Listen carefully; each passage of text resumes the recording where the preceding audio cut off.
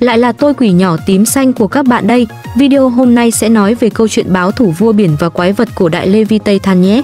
Chúc các bạn xem video vui vẻ và đừng quên like và đăng ký kênh cho tôi nhé.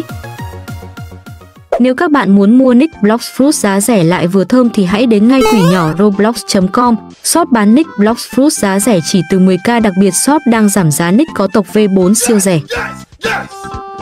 Đảm bảo nick ngon như làn da của cô gái trẻ mới lớn. Tất cả chỉ có trong quỷ nhỏ roblox.com.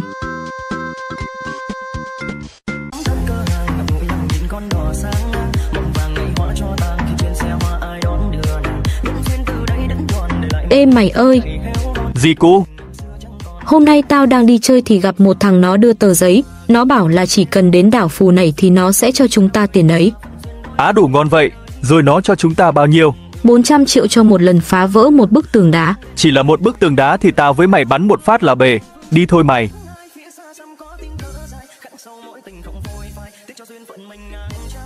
Xin chào hai anh, xin tự giới thiệu tôi là một trong những nhân viên tối cao quản lý hòn đảo này, rất hân hạnh được gặp các anh.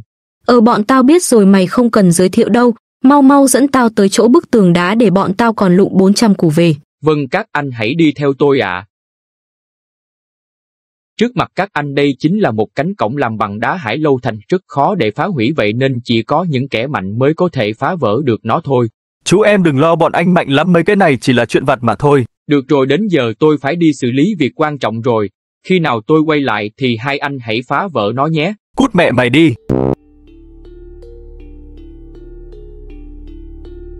Được rồi mày với tao hãy phá bức tường này đi. Nhưng mà thằng kia nó giận mình là khi nào nó quay lại thì mới được phá mà. Kệ mẹ nó đi tao nóng lòng quá rồi.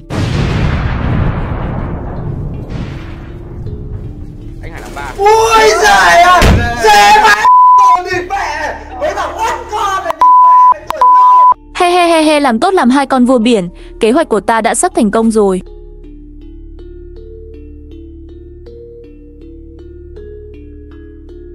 Chỗ này là ở đâu nhỉ sao trông đẹp quá. Xin thông báo những người trong khu vực này sẽ bị dịch chuyển đi sau một giây. What the hell Oh my god Đại ca sao lại có một cánh cửa ở đây nữa vậy? Chắc chắn là bọn này muốn mình phá hai cánh cửa rồi, chứ một cánh hơi dễ đó, bắn cho nó nổ đi. Yes sir, yes sir, yes.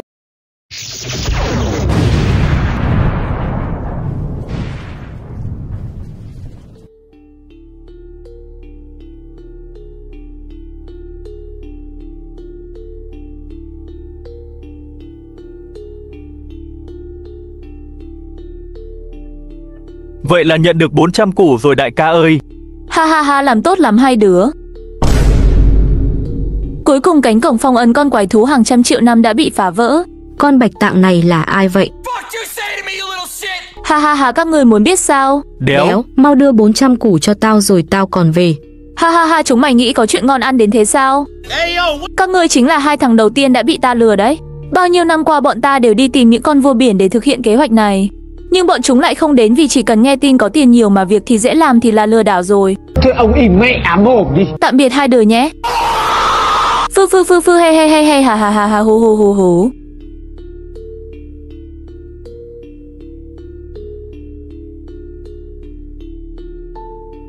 Ngay trả thù của ta cũng đã tới rồi.